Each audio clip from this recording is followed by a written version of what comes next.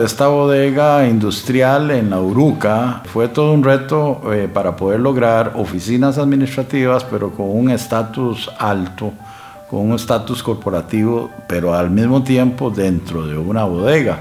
Pareciera ser que este tipo de oficinas solamente se logran encontrar en edificios dedicados a eso, a rentar oficinas eh, o a diseñar oficinas en grandes complejos. Era una bodega industrial con un medio diseño de necesidades básicas. Es todo una búsqueda de transparencia, confort, exigencia a nivel de ahorro energético, en iluminación natural, hicimos aperturas de buques.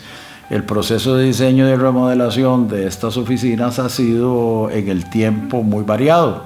Entonces es un proceso que lleva alrededor de cuatro o cinco años, en donde sus necesidades han ido ampliándose, en otros momentos se han ido reduciendo y pues hemos ido adoptando cada una de las etapas hasta poder concluir al momento, digamos, el proyecto final en su totalidad. También cabe mencionar acá que en un momento que eh, estuvimos fuera, eh, ausentes, el proyecto se llevó en conjunto con un joint venture con eh, la colega arquitecta Vanessa Meléndez, quien estuvo al cargo en el arranque de esta remodelación y que a posteriori pues, se le dio la continuidad del diseño original.